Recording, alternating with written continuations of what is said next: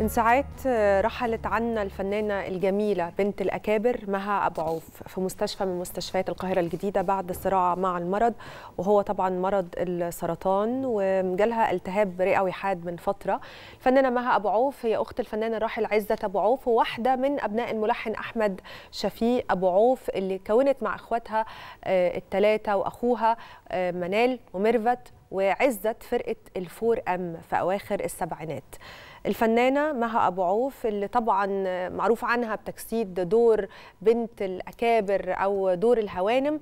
الفنانة مها أبو عوف اتولدت في القاهرة سنة 1956 ودرست في الجامعة الأمريكية وشاركت في أكثر من 35 عمل درامي و21 فيلم سينمائي. آخر عمل فني للراحلة اشتركت فيه كان مسلسل الحرير المخملي واللي اتعرض خلال الكام شهر اللي فاتوا البقاء لله ونتمنى طبعا لأهلها وذويها الصبر والسلوان ربنا يرحمها رب ويغفر لها خالص عزائنا طبعا لأهلها ولزويها